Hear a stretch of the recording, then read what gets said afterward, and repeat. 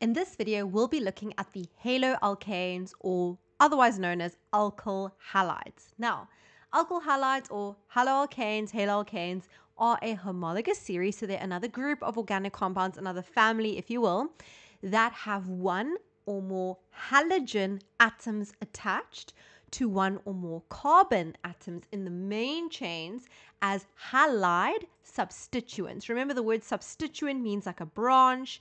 So these are halogens. Now, remember, halogens are group 17 on the periodic table. So this group over here, you can see fluorine, chlorine, bromine, iodine, and so on. So these are the list of potential halogen atoms that will be attached to one or more of the carbons in the main carbon chain. So on the screen, you can see an example of a haloalkane. Now, if I have one of these or more, can be one or more, halogen atoms on my chain, these are the prefixes that I will include in my name. So if my haloalkane name has a fluoro in it, so if you see 2-fluoropentane, it means on the second carbon, I have a fluorine atom attached to that carbon. So if you see F, it's fluoro, Cl, chloro, Br, bromo, I, iodo. Let's go over naming alkyl halides or haloalkanes, and then this will make more sense to you.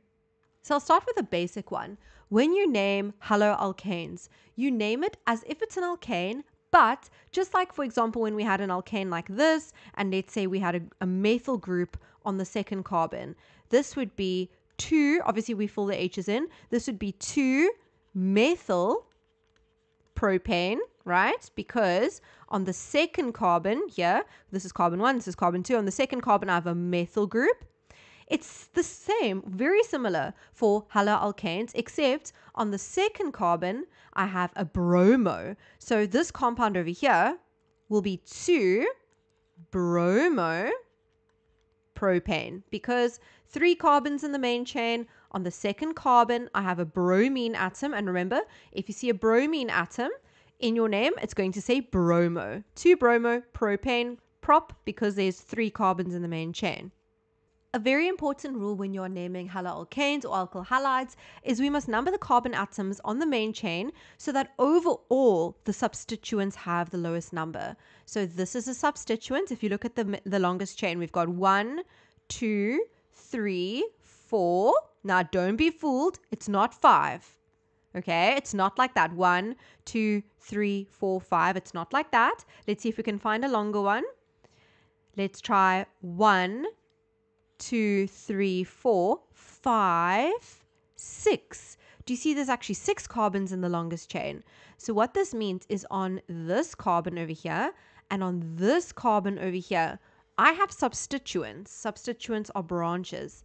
Now we need to number this chain so that overall they have the lowest possible number. So just like with alkanes, when we had methyl groups and ethyl groups and so on, we can either number it like this, one, two, three, four, five, six. If I choose the red numbering, my branch is on carbon three. You can see on carbon three, I have the bromo. Okay, so carbon three. And on carbon four, I have the methyl. So 3 plus 4, which gives me 7. Let's try and number the chain in reverse order. So we're going to go, let's choose a different color so we can see it. One, two, three, four, five, six. So if I choose to number it this way, then my substituents are on carbon 3. On carbon 3, I have a methyl, and on carbon 4, I have a bromo.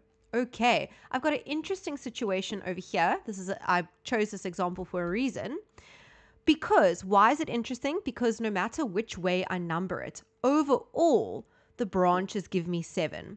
So which numbering is correct? Remember, when we name a alkane and when we name a haloalkane like this, the branches, the substituents, must be placed in alphabetical order. So this substituent is a bromo, and this substituent, this branch, is a methyl. Which one comes first alphabetically? B comes before M. So that means we must ensure that the BR has the lowest possible number. If I go with the red numbering, BR is going to be 3. If I go with the blue numbering, BR is going to be 4. So obviously the red numbering means that I get a lower number. So I'm going to erase the blue numbering. That's not what I'm going to be going with. I'm going to be going with the red numbering. So how do I number this? This is going to be, or how do I name this? This is going to be 3 bromo. I'm going to run out of space here. There we go. 3 bromo. 4 methyl. Then how many carbons in the main chain? 6. So hexane. Okay. What about this example? Again, let's look for the longest chain. It goes straight across like that. It does not make sense to number the carbons like this. One, two, three, four, because then our branches are going to be on three and four. That doesn't make sense. Let's try and number it in reverse. So let's do this. One, two, three, four.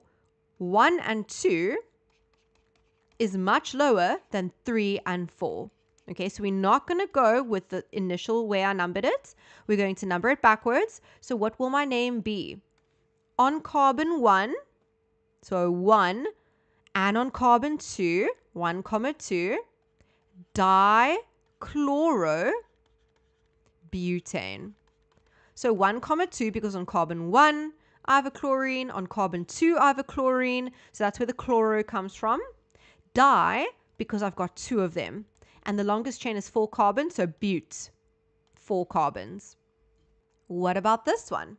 We need to look for the longest chain. So I see one, two, three, four, five, six. Remember, the longest chain can bend like that. What are my substituents or my branches? In this case, it's a Cl, and over here, a Br. I think it's quite clear that if I number it this way, one, two, three, four, five, six. My branches are going to be on carbon two and carbon three. That gives me five. If I had to number the chain backwards, so in the blue numbering, my branches would be on carbon 4 and 5. And 4 and 5 definitely gives me a much higher number. So we're not going to go with the blue numbering. We'll go with the red numbering. And remember, when we name a compound, like this organic compound, the substituents, the branches, have to be in alphabetical order. So bromo is going to come before chloro.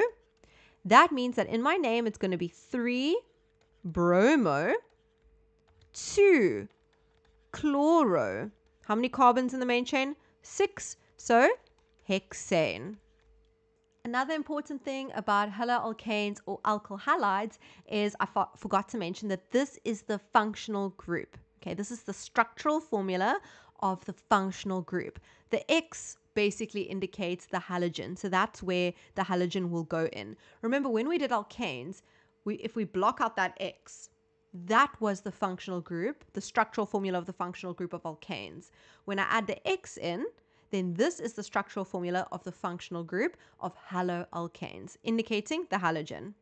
I hope that this video has been helpful. To check out more organic chemistry, please check out the links in the description box below. Subscribe if you haven't yet. Bye, everyone.